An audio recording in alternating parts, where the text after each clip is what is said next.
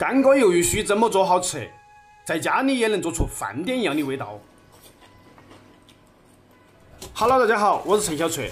今天四十块钱呢，就买了这么一点鱿鱼须，太贵了。我们把皮皮给它撕干净。嫌麻烦的朋友啊，不撕也可以。清理干净的鱿鱼须，我们给它切下花刀，这样它更入味儿。再把它改成条，不要切得太小了，吃起来不过瘾儿。切好的鱿鱼须加入姜、葱、料酒，给它腌制个十几分钟。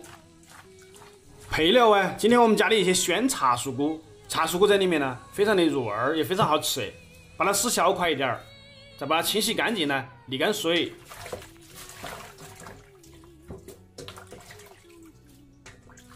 再来切一些红椒、洋葱条，吃辣的朋友啊，可以切一些小米椒。这个洋葱一部分切成条，一部分呢切成丝丝儿，我们垫底。姜蒜切成片儿，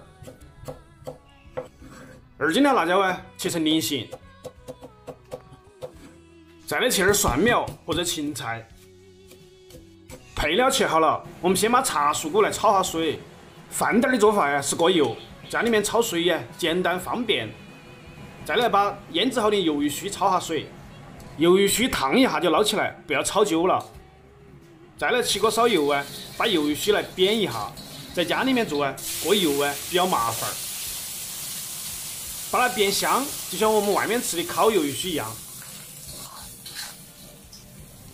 这样煸香了，水汽变干一些了，我们把它倒出来。锅内加油，加入姜蒜片、干辣椒、花椒。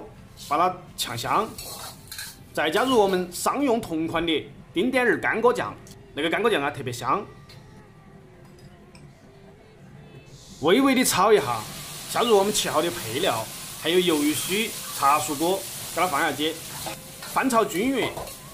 调味儿呢，我们加入一些白糖、味精，还有孜然粉儿，不要放盐了哈。